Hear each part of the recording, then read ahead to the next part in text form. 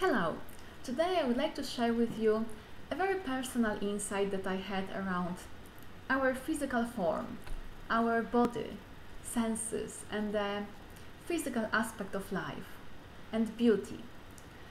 I had a session last week with a wonderful coach, Linda Preacher, and during the session we explored many different things, and the core for me was. Um, the insight about being connected to our heart and then taking action that is inspired by the heart. And I came up during the session with a couple of uh, ideas that were related to my work, and I wanted to go ahead with them. And another thing came up to me during the session that had to do uh, with my desire to enjoy more physical aspect of, of life, to smell something beautiful or to touch something nice, to, to move my body and dance and enjoy it. And as I was exploring this with Linda, I really felt very energized and there was this very pleasurable sensation in my body, which was a sign for me that this particular insight was a meaningful one, really, for me at this time of my life. And then I drove back home after the session, and in one moment it just dawned on me. I, I saw clearly that for a long time, in a way, I was, I've been separating myself from the body. Like I, in a way, I felt that the, the body betrayed me in the past so in a way, I didn't want to have much to do with it.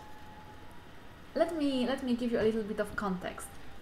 Um, as a child, I was bullied a lot because of the way I looked. You know, it wasn't so much about the body; it was more the face. So I have quite big ears, and I have this birthmark on my nose, and I wear glasses. Mm, my skin is quite pale and also my teeth were like like a squirrel kind of like a rabbit. And like from the age of 8 years old until 15 or so I was really teased a lot by other kids. And it was like wherever I went I was given the nickname that was one or another version of ugly whether it was at school or summer camp. They were picking a lot on me um, because of my looks.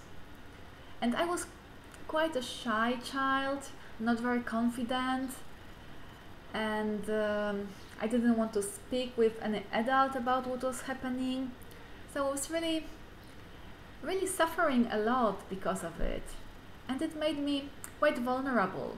Mm yeah, and then I went to high school and uh, age of 15 and things changed. No one else, no one was picking on me anymore. Or no one was really making any comments about my face or my looks. Although, for the next at least 10 years, I thought that, you know, people were commenting on how ugly I were.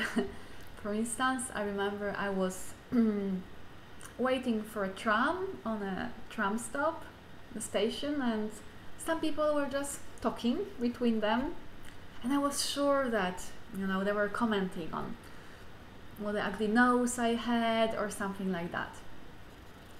But I also was aware that it was perhaps more in my mind than in reality. And I started to, you know, to enjoy myself more. With time I kind of forgot mm, mostly about all the teasing. And I kind of started even to like my looks. Uh, yeah. But I wasn't like paying a lot of attention to to beauty. For instance I wouldn't decorate my house a lot. Um, it was in a way like body is not important. And last week, when I was driving in that car, I just realized that in a way I made it up in my mind that appreciating beauty in myself, in the world, in other people, and enjoying the, the body, the, the senses, the physical form. It's like betraying the, the tribe of ugly people. And in a way, I felt I, I belonged to the tribe and I didn't want to betray them.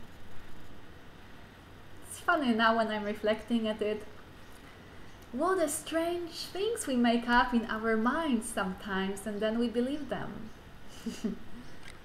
and you know, about the ugly people, I need to say that I really believe there is no such thing as ugly people. It's it's so much in our minds, and I can think now of a couple of people. Mm, someone from the pa- from the childhood, and someone who I know now. That maybe their faces are not. Mm,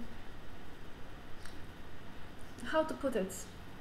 that I could have thoughts like, mm, they are a little bit ugly, you know.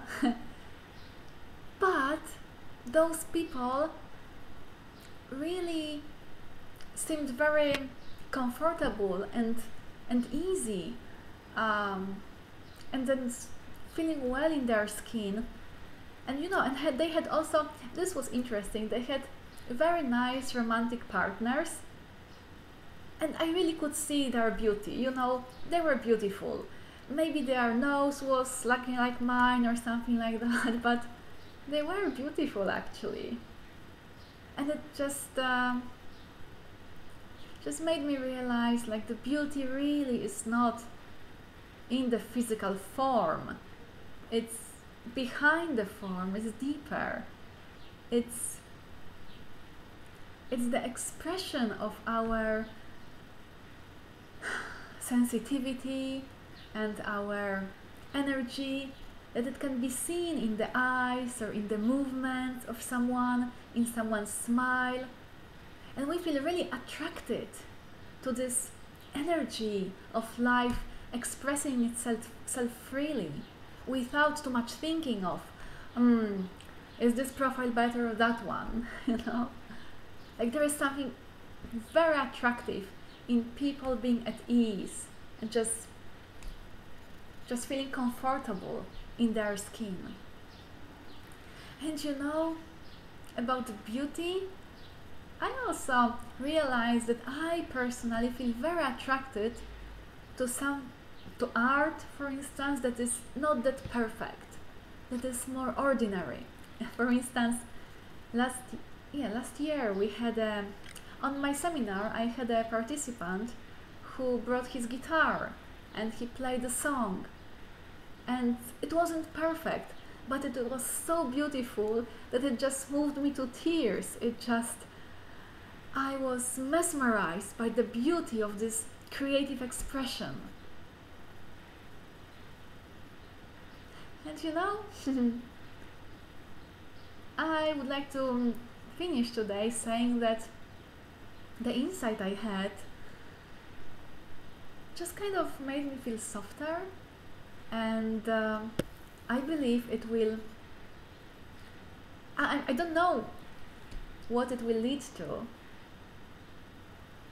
but I believe that it kind of opened to me a possibility of enjoying something that I haven't been allowing myself to enjoy for a while.